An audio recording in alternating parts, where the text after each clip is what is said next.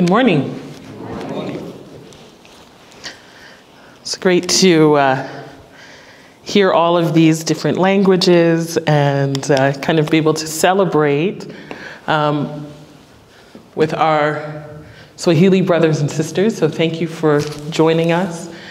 And uh, yeah, as Pastor Jules mentioned, we started our membership class. It's good practice for when I do the the English congregation membership class. You guys are getting the very rusty version of, uh, of that. So, uh, looking forward to next week as well. one, uh, one day, Kim might remember this because I came back and told her when she worked at the church, but one day I, I walked into a uh, Tim Hortons just a few months after living in Calgary.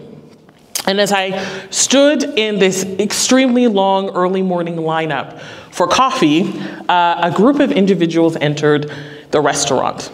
And uh, they stood in all these different spots uh, and they began to yell out loudly, Repent from your sins! Jesus saves!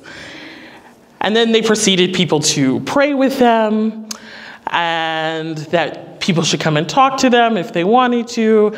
And then they very triumphantly kind of left the building. Now, this isn't the first time that I've kind of had that encounter. They must wait for me to go into coffee shops to tell me to repent. I must carry a badge. But this was not the first time. Um, and I mean, I, have I've experienced it in other countries, but then also, it's not my first time in Canada where you know that people come into that space and announce to individuals that sin is a problem and that Jesus can be their solution. And each time in my Canadian context, each time this happens, people give the exact same response every single time. Um, they kind of look down, they scroll their phones a little bit faster, they smirk, they roll their eyes, they sigh deeply, kind of cuss under their breath, and everyone keeps walking to get their coffee. Now, for so many reasons, uh, people don't really respond well to this in Canadian culture. And while the intentions are good, the roots of such actions come from this idea that we must do everything we can. Uh, not to help people grow an awareness of who Jesus is, but rather we must do everything we can to get people to heaven. Now, growing up, this type of thinking, it was fairly prevalent. Sin was a grand narrative that kept God away from us, made God angry with me, and at times to dislike me or disown me. And if heaven was the goal, then sin was certainly the barrier. And to add to it all, I was Methodist, right? And so good free Methodist, we add to that doctrine of, we add to that the doctrine of perfection. And so that becomes this added burden as God at work in us included the pursuit of achieving perfection, which was equated as the pursuit to become sinless. You know, this little boy, every time he comes to church, completely steals the show, and I'm just and I'm just in love with it. it's so adorable. He's so, so, so cute. He's almost as cute as mine. I mean, maybe a slight margin of, slight margin of difference, but he is quieter, much quieter than mine. And so this always kind of talks about this pursuit of perfection, this pursuit to become sinless. And for some, this sounded like good news, but in speaking with people who grew up with this, who are now adults, the reality is that oftentimes this, um, oftentimes this was simply anxiety-inducing news, because sin remained, sin kept showing up, and all kinds of situations emerged that seemed a bit gray, to be sure. and so, yes, excuse me, and so, yes, Jesus loves me, but it might not last. It might not last if I can't get my stuff together, if I'm not good enough, if I'm not holy enough, if I'm not perfect enough. In Romans 7, there's this well known passage of scripture. I remember in Bible college, way a long time ago. It was a really long time ago. It's like over 20 years now. So I remember in Bible college, like people used to we were, we were so weird when you think about it. Going to Bible college is weird. Um, and the people who are there are weird because one of the things that they did is they would, um, like they would have competitions about memorizing this passage. Like who does that? No one. No one does that except for us.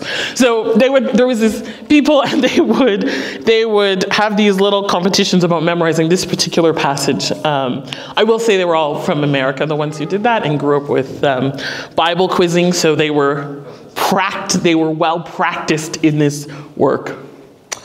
But one of this, pa- this passage that is well known says, I want to do what is right, but I don't do it. Instead, I do the things that I hate. But I know that what I'm doing is wrong. This shows that I agree that the law is good. So I am not the one doing wrong. It is sin in me that does it. I know that nothing good lives in me. That is my sinful nature. I want to do what is right, but I can't. I want to do what is good, but I don't. I don't want to do what is wrong, but I do it anyway. And it goes on, it says, Oh, what a miserable person I am. Who will free me from this life that is dominated by sin and death? Now, some scholars kind of believe that this is Paul's description of Israel's relationship with the law. And if you go through the Old Testament, you'll see over and over again that Israel has this deep reverence for the law. They celebrate it, they talk about it, they go to the synagogue to learn about it. But it is the following of the law where it all falls apart. The following piece is where they fail time and time again, and the result would be that they find themselves in conflict with their neighbors, in conflict with themselves, in conflict with their nation, in conflict with their families, in conflict with their communities. And they too would wonder and ask questions that seem very similar to the questions that I would ask. And we see those questions in the Psalms, in the wisdom literature, in the prophets. God loves me, but it might not last if I can't get my stuff together, if I can't be good enough, if I can't be holy enough, if I can't be perfect enough. And Paul seems to suggest in Romans 6 through 8 that the biggest problem facing these people who call themselves the church the dear ones who have walked into this deep awareness of who Jesus is, those who now have found their way to both recognize and experience the Holy Spirit as their guide, that their biggest problem isn't actually sin. Rather, their biggest problem seems to be their fear that Jesus isn't enough, that His grace is insufficient, and that the Holy Spirit isn't present. And Paul insists that the opposite is, is, true. He says Jesus is more than enough, grace is sufficient, and the Holy Spirit enables us and emboldens us despite the sin that surrounds us. And while the original listeners may wonder, how is he so confident? We, the modern readers, know more of the story. And that Paul is not speaking as one who is an outsider. Paul is not communicating simply out of theory, but Paul was once the model for what it looked like to be right with God. In Philippians 3, he says, I was circumcised on the eighth day. I come from the tribe of Benjamin. I became a teacher of the law, a Pharisee who demanded of myself and others the strictest following of the law. He says, I obeyed the law without fault. But where did that leave him? What did that produce? It produced a man who terrorized fellow Jews because they did not believe or follow his ideas or ideals. He murdered people, he ran them from their communities and their homes, and he hunted them down with righteous anger. All of it because he believed that was the way to be made right with God and to remain in good standing with God. He followed the letter of the law. Yet on that famed road to Damascus, as Paul is traveling to continue his law abiding mission of wiping out those with whom he theologically disagrees, disagrees with, he has this spiritual encounter where he meets Jesus.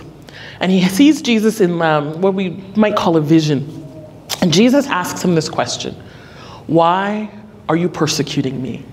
And everything changes in this moment, not because Paul becomes better at following the law, but because his encounter with Jesus grows his awareness of Jesus, which compels him to move in a new direction.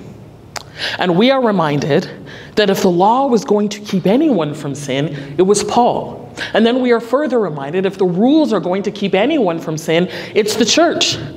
But Paul reminds the Romans and us that the reason sin is powerless is not because of our ability to disarm it. It is not based on our capacity to do more or become better or to be pious. But Paul says, When he died, he died once to break the power of sin. But now that he lives, he lives for the glory of God. So you should also consider yourselves to be dead to the power of sin and alive to God through Christ Jesus. Sin is no longer your master, for you no longer live under the requirements of the law.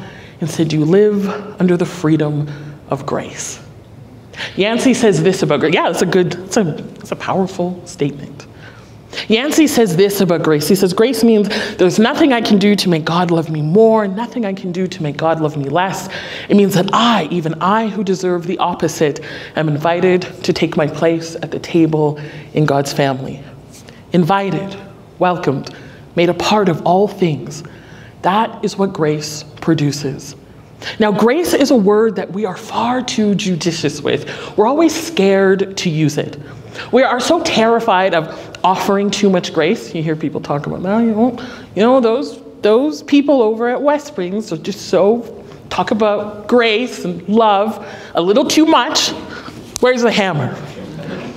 We're afraid of accepting it too much. We're, acceptive, we're afraid of needing it day in and day out. Yet there we are, synonymous with Israel, and wondering how do we break free from the trap of not doing what we want to do and instead doing the very things we hate? And Paul's response in chapter 7 is this Thank God, the answer is found in Jesus. And before anyone has the opportunity to add a caveat or an addendum or a footnote to what Paul actually means, he goes on in chapter 8, verse 1 so now there is no condemnation for those who belong to Christ Jesus. And because you belong to him, the power of the life giving Spirit has freed you. The law of Moses was unable to save us because of the weakness of our sinful nature.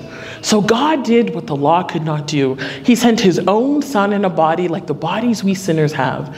And in that body, God declared an end to sin's control over us by giving his Son as a sacrifice for our sins. We no longer follow our sinful nature, but instead follow the Spirit. And if you find your way to the very end of chapter 8, you come to see this beautiful pronouncement is coupled with these words Nothing can ever separate us from God's love. These are powerful and sometimes frightening words because they call the church to acknowledge that in Romans 8, we are not invited to do anything. Rather, we are offered a description of this all encompassing transformation that God gives through the Spirit who raised Jesus from the dead. It is a declaration of all things being made new, including me and including you, not because of the absence of sin, but because of the work of Christ. So sin can destroy you, and it can destroy those around you. The rules can destroy you, and it can destroy those around you. Thanks be to God that while we were still sinners, Christ died for us, and his grace is more than sufficient for where we have been, for where we are, and for where we will find ourselves. N.T. Wright paraphrases Romans 8 like this He says, Who is against us? No one. God, after all, has given us his Son and will give us all things through him. Who will bring a charge against us? No one. God Himself has justified us, has declared us to be in the right. Who will condemn us? No one. Jesus has died, been raised, and exalted, and intercedes for us. Who shall separate us from the love of God? No one. Nothing in all creation can separate us from the love of God in King Jesus. If I felt that those um, surprise public pronouncements uh, about God in Tim Hortons were effective in our culture for people to grow in their awareness of Jesus, this is the message that I would hope the church would be shouting out with abandon. This message of love, of grace, and of forgiveness. It is very much the message that Jesus repeated and lived and offered time and time again. We see it in the parable of the prodigal son, in the story of the woman caught in adultery, in the story of, of the woman who comes and finds herself at the feet of Jesus and washes his feet with her tears. We find it in the story of Zacchaeus, in the story of Levi, in the story of Peter, all the way till we realize it is also the story of us. All around us, there are people looking and listening and longing and praying for good news. And here we have it in the ever present whisper of the gospel love remains and grace never fails. As we go from here today, I hope you have plenty of opportunities for the grace that we discussed today to not just be something that you receive and that you accept and that you experience from God, but it also is what you offer to the world around you. That you have moments where you offer grace to those you disagree with, grace to those who perhaps have harmed you or hurt you, grace to yourself, grace to your family. May this be a week that is filled with abundant grace. Have a blessed week.